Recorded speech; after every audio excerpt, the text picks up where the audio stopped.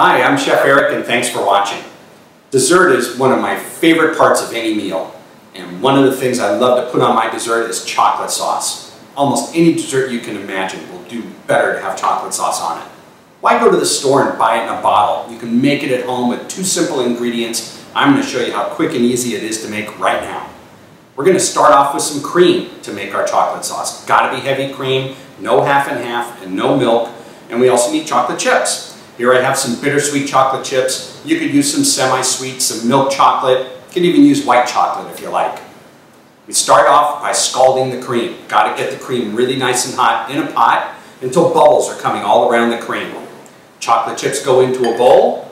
Take the scalded cream, pour it right over the chocolate, and let it sit for a little while and let it melt. And stir it around to speed up that melting. Once that chocolate gets really nicely melted and totally smooth, you wind up getting a really wonderful sauce. The sauce will keep in the refrigerator for a couple of weeks, and you can easily reheat it on top of the stove or in the microwave. Get ready to drizzle this over a tart, or some ice cream, or a piece of cake.